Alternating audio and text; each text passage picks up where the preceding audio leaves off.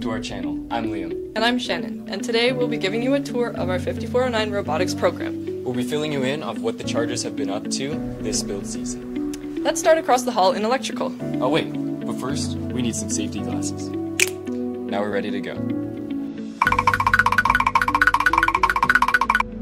Hi. Hello. What's your name? My name is Tal and I'm on the electrical team. And what are you doing today? I'm making gearboxes for the motors for our robot. So right now I'm working on one for the indexer and I'm also making some for our intake, um, our elevator, as well as our climber. Okay, thank you. Bye. Bye. What are you guys doing over here?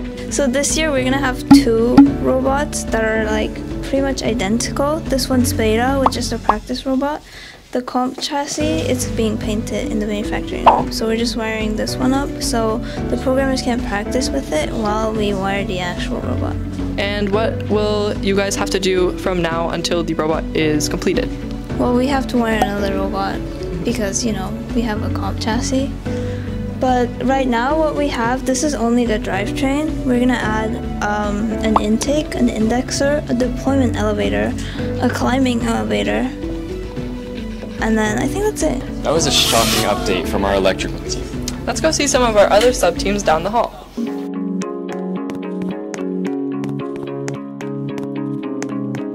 Now, we would go into manufacturing, but it's way too loud in there. So, we'll save your ears for now. So we've been working on the deployment parts that design has released. And right now on CNC, we're doing the bars.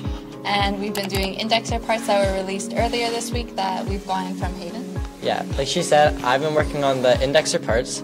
I cut the outline, and CNC has been precisely cutting it on the big CNCs. Not only that, I've also been working on the deployment parts that have recently been released as well. And there's still a few more to come, but we're getting there. The rest of the team has been working on the assembly, so we're going to continue with that until the end of the season. Um, we're also working on completing the actual competition robot and making some final iterations. We're now at our practice field where our programmers program and our drive team drives. Let's go talk to them now. What's your name? Jason. And I'm Philip.